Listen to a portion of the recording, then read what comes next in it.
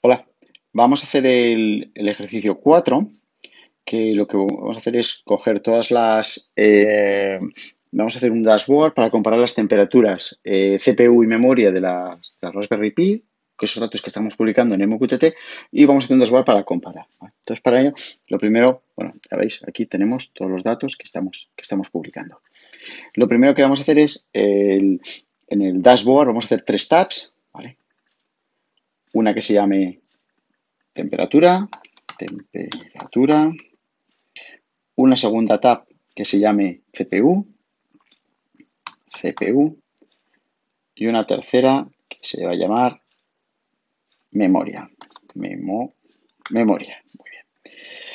Vale, ahora eh, cogemos el nodo MQTT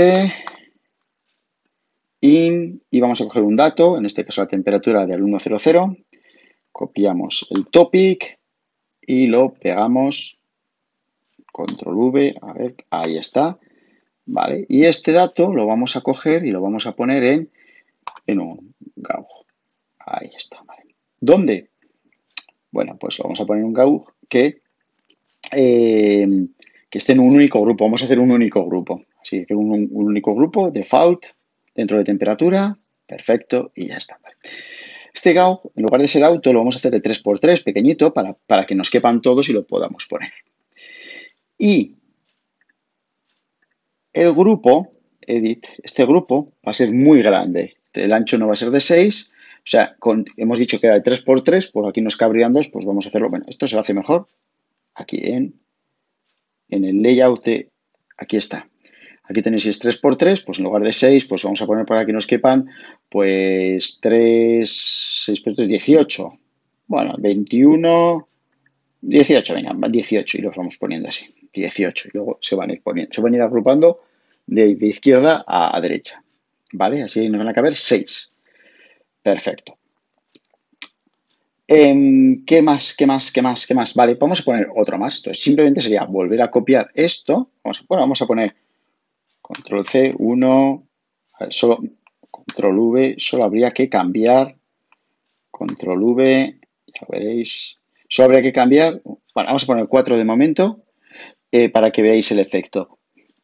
Eh, si vamos al layout, veis cómo se van rellenando ellos solos. Vale. ¿Qué nos quedaría? Pues poner, en este caso, van a ser las mismas. Así que vamos a coger el siguiente alumno, que sería el 04, que temperatura, este es el topic, control C. En principio solo cambia V, 04. El siguiente sería el 07, que en tuyo, bueno, pero él le ha llamado diferente, le ha llamado RASP y además no, publica, solo no publica la temperatura, así que no lo cojo.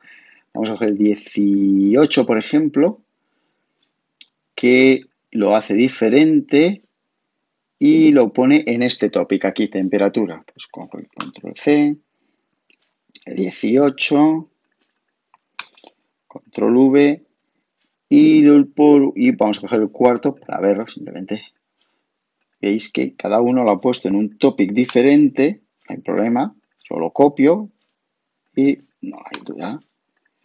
Hago un deploy y ya está cogiendo los datos.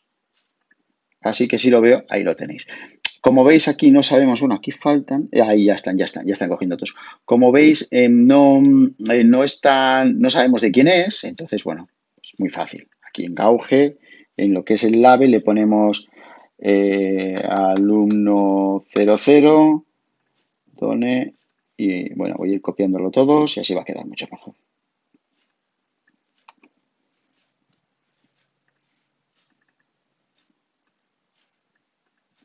Aquí al 100, control C. Este que era el 04. En la label 04. Este es el 18.